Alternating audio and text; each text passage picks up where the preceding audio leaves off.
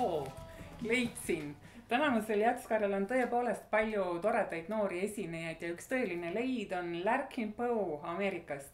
kaks õde ja ma otsisin kantrilikku muusikat, aga leidsin kõike muud ka. Neil on värske plaatkin, Pat Metinil oli ka plaatkin läinud aastal ja tõesti muusikas on erinevaid pille, head energiat ja kõike seda, mida noored ootavad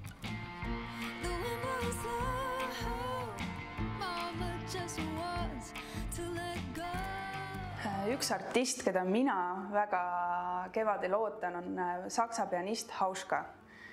ja miks ma teda ootan, on sellepärast, et ta mängib prepareeritud klaveril ja ta paneb igasuguseid põnevaid asju sinna klaveri sisse, et, et see sound oleks veel kihvtim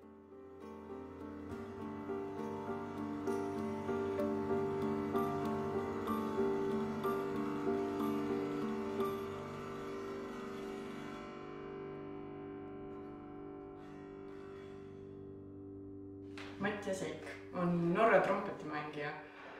põhjamaiselt lüüriline, kaasaegse biidiga ja ma nägin teda see suvi pulmas Norra fjordide vahel. lund on lihtsalt tohutult mõnus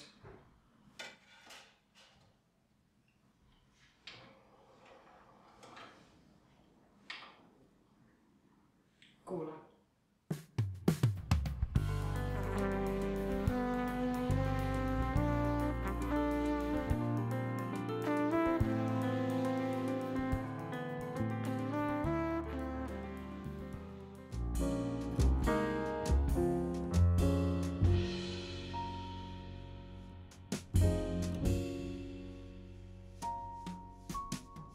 will be no love that's dying here.